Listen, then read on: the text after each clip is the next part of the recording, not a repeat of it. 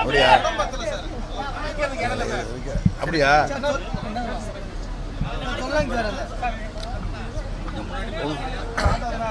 ஒன்றிணைந்த சேலம் மாவட்ட செயல் வீரர் கூட்டத்துக்காக இன்றைக்கி வந்திருக்கோம். செயல் வீரர் கூட்டம் முடிஞ்சுட்டு நான் நாளைக்கு தருமபுரியில் செயல் வீரர் கூட்டம் அதுக்காக புறப்பட்டுருக்கேன் வேறு எதுவும் கேள்வி இருந்தால் கேளுங்கள் ஒற்றை தலைமை. அப்படிங்கிற ஏல போட்டியில் பல நூறு கோடி ரூபாய் செலவு செய்து உங்கள் மாவட்டத்தைச் சேர்ந்த ஒரு நபர். எப்படியாவது தலைமை பதவிக்கு வர வேண்டும்னு ஒரு விபரீதமான ஆசையில் இந்த பணம் இருக்குங்கிற மமதையில் நிர்வாகிகள் எல்லாம் இந்த ஐபிஎல் வீரர்கள் எல்லாம் விலைக்கு வாங்குற மாதிரி வாங்கி எப்படியாவது அந்த பதவிக்கு வரணும்னு துடிக்கிறார். இதெல்லாம் தெரிஞ்சு தான் புரட்சி தலைவர் தனக்கு பிறகு ஐம்பதாவது ஆண்டுகள் ஐம்பது ஆண்டுகள் கழித்து இதை மாதிரி பதவிக்கு வர சில பேர் எந்த ஒரு முறை குறுக்கு வழியில் முயற்சி செய்வாங்க. நிர்வாகிகள் எல்லாம் விலைக்கு கொடுத்து வாங்கி வர முயற்சி வாங்கன்னு தெரிஞ்சுக்கிட்டு தான் தலைமை பதவியாக்கி தொண்டர்கள் அடிப்படை உறுப்பினர்கள் தேர்வு செய்தால் வரணும்னு அன்னைக்கு அவர் விதியை உருவாக்கி சென்றார். அதை எந்த காலத்திலையும் யாரும் மாற்றக்கூடாது. யாருக்கும் மாற்றுகிறாது பொதுக்குழுவோ எந்த குழுவுக்கும் அதிகாரம் இல்லை அப்படின்னு சொல்லி அவர் வந்து எழுதி வைத்துட்டு போயிருக்காரு. அதே தான் சட்டத்திட்டத்தில் அம்மா தொடர்ந்து எந்த காலத்திலும் யாருக்கும் மாற்ற அதிகாரம் இல்லைன்னு போட்டிருந்தாங்க. இவர் எந்த காலத்திலும்னு அம்மா சேர்த்து பண்ணியிருக்காங்க ஆனால் அந்த விதியெல்லாம் தகர்த்துட்டு இந்த பண இருக்கிறதுனால பதவி வெறியில் அதிகார வெறியில் மமதையில் ஒரு குழு ஒரு இயக்கத்தில் வெறும் பதவியில் இருக்கிற நிர்வாகிகளை வைத்துக்கொண்டு அந்த பதவிக்கு வந்து விடலான்னு எல்லாரையும் உங்களுக்கு தெரியும். இருபத்தஞ்சி லட்சத்துலேருந்து ஐந்து கோடி வரை விலை கொடுத்து வாங்கி தொண்ணூற்றி ஏழு சதவீதம் ஆதரவு தொண்ணூத்தெட்டு சதவீதம் ஆதரவுன்னு சொல்லி பதவிக்கு வர துடித்து கொண்டிருக்கிறார்கள்.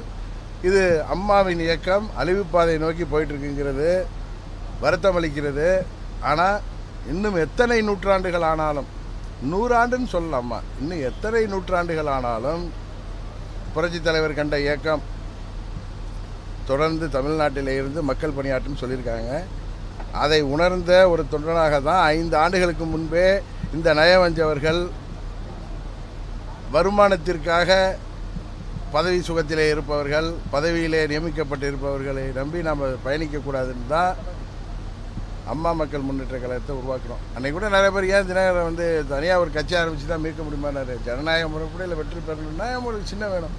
அதுக்கு தான் ஆர்கே நகரில் அம்மாவுடைய தொகுதியில் இடைத்தேர்தல் வந்தப்போ எனக்கு வெற்றி சின்னம் குக்கர் கிடச்சிச்சு. இன்றைக்கி அந்த சின்னம் எங்கள் அம்மா மக்கள் முன்னேற்ற கழகத்தின் வெற்றி சின்னமாக இருக்குது ஏற்கனவே அம்மாவுடைய கட்சி தலைவருடைய சின்னம்னு சொல்லி மக்கள் யார் கையில் இருக்குது பிஎஸ் வீரப்பா எம்என் நம்பியார் போன்ற அந்த கூட்டத்து கையில் தீயவர்கள் கூட்டத்தில் இருக்குன்னு இருந்தாலும் அந்த கட்சிங்கிறதுக்காக வாக்களித்தாங்க அது இப்போ கழுத தெரிஞ்சு கட்டணமாயிட்டு இருக்கு உங்களுக்கு தெரியும் நகர்ப்புற உள்ளாட்சி தேர்தலில் அவங்கவுங்க சொந்த நகராட்சிகளில் பல நூறு கோடி ரூபாய் செலவு செய்தும் ஆட்சிக்கு வர முடியல. அந்த பதவியை பிடிக்க முடியல. ஏன்னா பணம் ஒரு ஒரு அளவுக்கு தான் வேலை செய்யும். அது ஆளுங்கட்சியாக இருந்தப்போ மக்கள் ஆளுங்கட்சிக்கு வாக்களிப்போமே? இல்லை ரெண்டு வருஷம் இருக்க மூணு வருஷம் இருக்கேன்னு பணத்தை நம்ம பணம் தானே? ஏன்னா ஆர்கே நகரில் சொன்னாங்க. ஓட்டுக்கு ஆறாயிரம் பத்தாயிரம் கொடுத்தப்ப தேர்தல் முடிஞ்சு நான் நன்றி சொல்ல போகிறப்ப கேட்டேன். நம்ம ஆறாயிரம் பத்தாயிரம் கொடுத்தாங்கிறீங்க எனக்கு ஓட்டு போடுறீங்க. அப்படி இல்லை துரோகம் பண்ணாங்க. ஏன்னா எங்கள் வீட்டு பணத்தை எடுத்து எங்களுக்கு கொடுக்குறா வாங்கிக்கிட்டா அதில் என்ன தப்புன்னு கேட்டாங்க. அதை இப்போ தமிழ்நாட்டு மக்கள் இப்போ நகர்ப்புற உள்ளாட்சி தேர்தலெல்லாம் செஞ்சுருக்காங்க தமிழ்நாடு முழுவதும். வருங்காலம் பணம் வேலைக்கு ஆகாது பணம் பாதாள வரைக்கும் பாயினாங்க பாய்ச்சி நின்றுட்டு அதுக்கு தான் இப்போ நீதி தேவதை அன்றைக்கு நடு இரவில் கண் விழித்து நீதி வழங்க ஆரம்பித்து விட்டால் அதனால் இவர்கள் தீயவர்கள் கூட்டத்திலேருந்து அந்த இயக்கத்தை மீட்டெடுக்க அம்மா மக்கள் முன்னேற்ற கழகம் மீட்டெடுக்கும் என்கிற முயற்சியிலே நாங்கள் வருங்காலத்தில் வெற்றி பெறுவோம். அதனால தான் எங்கள் தொண்டர்கள்ட்ட குக்கர் சின்னத்தை பட்டி தொட்டியெல்லாம் கொண்டு செல்லுங்கள். அம்மாவின் கம்பீரமான அந்த திருமுருகம் தா திருமுகம் தாங்கிய கொடிய எல்லா தெருக்களிலும் நீங்கள் அதை பட்டொலி வீசி பறக்க விடணும். அம்மாவின் உண்மையான தொண்டர்கள்லாம் காசுக்கு விலை போகாதவர்கள் வருமானத்திற்கு இல்லாதவர்கள் அம்மாவுடைய கொள்கைக்காக வந்தவர்கள் தான் இருக்காங்க? நான் பலமுறை சொல்லியிருக்கேன். என்னங்க என்ன கேட்டுப்பீங்க தேர்தலில் நீங்கள் சட்டமன்றத்தில் தோத்துட்டீங்களே பார்லிமெண்ட்டில் தோத்து தோத்தாடினாங்க நாங்கள் என்ன பிஸ்னஸ் நடத்துகிறோம் நஷ்டம் ஆகிட்டா கடை கடையை மூட்டு போகிறதுக்கு இது இது கொள்கை பிடிப்பான இயக்கங்க. அம்மாவுடைய கொள்கைகளை நிலைநாட்டுறதுக்கு அம்மாவுடைய உண்மையான ஆட்சி உருவாக தொடர்ந்து பாடுபடுவேன். இன்னும் இருபத்தைந்து வருடம் ஆனாலும் இன்னும் ஐந்து பொதுத்தேர்கள் சட்டமன்ற பொதுத்தேர்தலை சந்திக்கின்ற மனபலமும் உடல் பலமும் எங்களுக்கு இருக்குன்னு சொன்னேன். நிச்சயம் நாங்கள் வெற்றி பெறுவோம். அம்மாவுடைய ஆட்சியை தமிழ்நாட்டில் அமைப்போம். அதன் பிறகு அம்மாவின் இயக்கத்தை எந்த நிலையில் அந்த இயக்கம் இருந்தாலும் சிதைப்பட்டு இருந்தாலும் அதை மீட்டெடுப்போம்.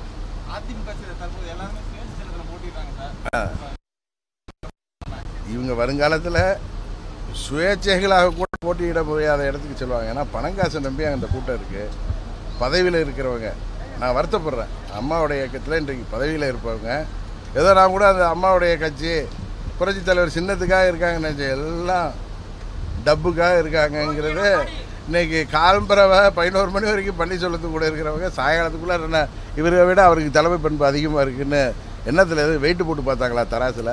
பணம் மூட்டை பணத்தை வாங்கிக்கிட்டு மாறியது வெட்கக்கேடாக இருந்தது. அதனால தான் நான் அன்றைக்கே இந்த குள்ளநெறி கூட்டங்களோடு நாம் செயல்பட வேணாம்னு தான் தனியாக அம்மா மக்கள் முன்னேற்ற கழகத்தை அன்றைக்கி வந்து என் கூட அன்றைக்கு வந்தவர்கள் ஒரு சிலர் சொந்த காரணத்துக்காக சுயநலத்துக்காக போயிருக்கலாம். ஆனால் மெஜாரிட்டியானவங்க என்னோட நிற்கிறாங்க காரணம் அவங்க வருமானத்துக்காக வரல கொள்கை பிடிப்போடு வந்திருக்காங்க. அதனால் வருங்காலத்தில் போராடி மக்கள் மனதை நாங்கள் இடம் பிடித்து ம மக்கள் எங்களை சரியானவர்கள் இவர்கள் தானே எங்களை வெற்றி பெற செய்வார்கள் என்ற நம்பிக்கையோடு தொடர்ந்து செயல்பட்டு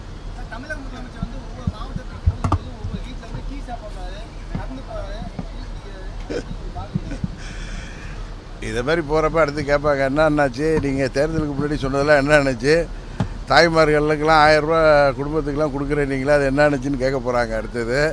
இதெல்லாம் அந்த பிகே சொல்லி கொடுத்து பண்ணுறாரு ஒவ்வொரு வீட்டில் போய் சாப்பிட்டா போதுமா?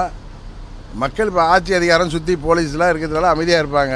எல்லாம் தேர்தல் வந்தப்போ அதுக்கு பதில் கேட்பான் ஏன்னா எடப்பாடி என்னெல்லாம் தவறுகள் முறைகேடுகள் செஞ்சாரோ இவர் தான் சொன்னார் கரப்ஷன் கமிஷன் கலெக்ஷன் இருக்குன்னு.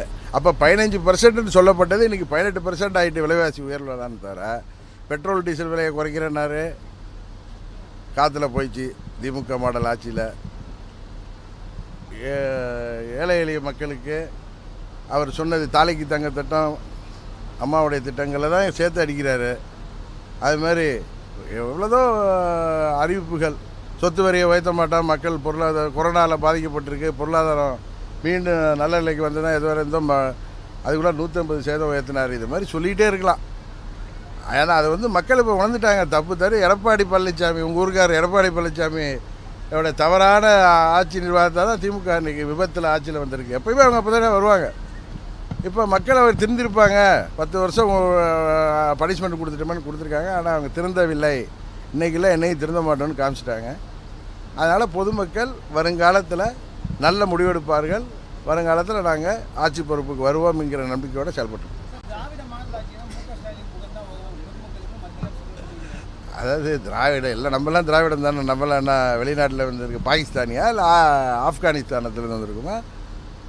எல்லா திராவிடர்களுக்கும் தலைக்குடிவை ஏற்படுத்துகிறாரு ஏன்னா ஏ- ஏமாற்றி ஆட்சிக்கு வருவது தான் சொன்னதை செய்யாமல் மக்களை ஏமாத்துறது தான் திராவிட மாடல்னு சொன்னால் அது ரொம்ப வருத்தத்தை அளிக்கிறது.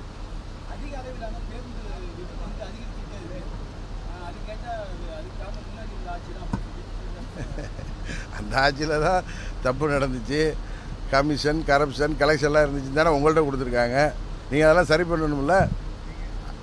இன்றைக்கு தமிழ்நாடு முழுவதும் சாராயம் பிராந்தியெல்லாம் தாண்டி போதை வஸ்துக்கள் வியாபாரம் அதிகமாக இருக்குது இது இளைஞர்களை மிகவும் பாதிச்சிட்டு அழிச்சிட்ருக்கு அழிச்சிட்டு இதெல்லாம் அந்த முதல் முதல்வர் வந்து தயவு செய்து நான் விளம்பரத்துக்காக எனக்கு விளம்பரம் தேவையில்லை. ஐம்பத்தஞ்சு ஆண்டு அரசியலில் இருக்காங்க. நீங்கள் பிறந்ததுலேருந்து கூட அறுபத்தெட்டு வருஷமாக இருந்திருக்கலாம். ஏன்னா அவங்க அப்பா நீங்கள் பிறந்த போய் கட்சியில் இருந்தார். பிறந்து முதலேயே நீங்கள் அரசியலில் கற்றுட்டு இருக்கலாம் சுவாசிச்சிருக்கலாம் ஆனால் ஆட்சி பொறுப்பு உங்களுக்கு வந்துட்டு. அறுபத்தெட்டு வயசில் வந்திருக்கு. ஐம்பத்தெண்டு ஆண்டு அனுபவத்தை வச்சு உங்கள் குடும்பத்தை முதல்ல இது ஒன்றும் குடும்ப சொத்து கிடையாது அப்படின்னு அவங்களெல்லாம் அடக்கி வச்சு உண்மையாக தமிழ்நாட்டு மக்களுக்கு ஏதாவது நல்லது செஞ்சு நீங்கள் எதுக்காக முதல்வராகனு ஆசைப்பட்டீங்களோ அதை மக்கள் கொடுத்துட்டாங்க. தமிழ்நாட்டு மக்களுக்கு வளர்ச்சிக்கு திட்டங்களை கொடுங்க மக்களுக்கு நல்லது செய்யுங்க. சும்மா இப்படி வெற்றி விளம்பரங்கள் ஊடக வெளிச்சத்தை வச்சு மக்களை ஏமாற்றி திராவிட மாடலு அந்த மாடல் இந்த மாடல்னு சொல்லி மக்களை ஏமாற்றாமல் உண்மையாக உங்களுக்கு முதல்வர் பதவி கொடுத்துருக்காங்க ஐந்து ஆண்டுகளுக்கு. அதை தக்க வச்சுங்க. மக்களுக்கு நீங்கள் ந சொன்ன வாக்குறுதிகளை நிறைவேற்றுங்க. அது செஞ்சாலே போதும். எண்பது சதவீதம் நிறைவேற்றிட்டான்னா பட்டப்பகலில் பச்சை போய் சொல்கிறாரு அதுதான் உண்மை. அதனால் அண்ணன் ஸ்டாலின் வந்து ஐம்பத்தாண்டு ஐந்து ஆண்டு கனவை இன்றைக்கி மக்கள் உங்களுக்கு நிறைவேற்றிருக்காங்க. நல்ல விதமாக ஆட்சி செய்து நீங்கள் மக்களிடம் நல்ல பேர் எடுங்க. அதுக்கப்புறம் அதை செய்யுங்க. அது உங்கள் முகம் வந்து பழனிசாமி முகம் மாதிரி. உங்கள் முகமும் தமிழ் அவர் வந்து கட்சிக்கும் தங்களை பதவியில் உட்கார வச்சவங்களுக்கும் தமிழ்நாட்டு மக்களுக்கும் துரோகம் செஞ்ச மாதிரி யார் முகத்தை துரோகத்துக்கு யார் முகத்தை வந்து எம்பளமாக வைக்கணும்னு மக்கள் அதுக்கு ஒரு டிபேட் வைக்கிற மாதிரி வருங்காலம் வந்துடாமல் பார்த்துக்குங்கன்னு சொல்லுங்கள் மனம் இருந்தால் மார்க்கம் உண்டு. அரசாங்கம் நினைத்தால் எதையும் செய்ய முடியும். அது நினைக்கணுமே. நம்ம பதினஞ்சு பர்சன்ட் பதினெட்டு பர்சன்டாலும் ஆக்கிறதுல நினச்சிட்டு இருக்கோம். இன்னும் வருங்காலத்தில் தனக்கு புள்ள புள்ள பேரெல்லாம் ஆட்சி செய்யணும்னா பழனிசாமி மாதிரி நம்மளும் சேர்த்து வச்சுக்கிறோன்னு ஒரு தவறான முன்னேற்றத்தை பண்ணுறாரு அது தவறு. அது கை கொடுக்காது அவருக்கே அவரும் உணர போகிறார்